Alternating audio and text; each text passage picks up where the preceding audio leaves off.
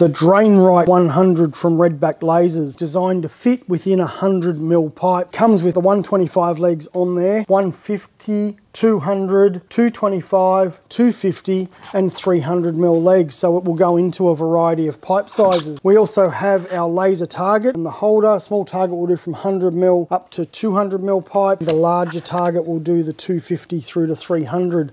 Comes with the lithium ion battery, has an operating time around 35 hours with that lithium ion battery that's chargeable through the USB cable and your charging block there. We can also run that laser off standard C-cell batteries and then put on the battery cover to operate the laser. We can set a grade with the remote control or off the laser itself. We've got a horizontal accuracy of plus or minus 1.5 mil at 30 meters, a grade range of from minus 20% to a 30% grade and a self-leveling range of minus 10% to 20%. It's got a huge temperature operating range so we can operate it anywhere from minus 10 degrees Celsius right up to 50 degrees Celsius. Anyway, what we'll do is we'll stick that lithium ion battery in and we'll run through using that laser.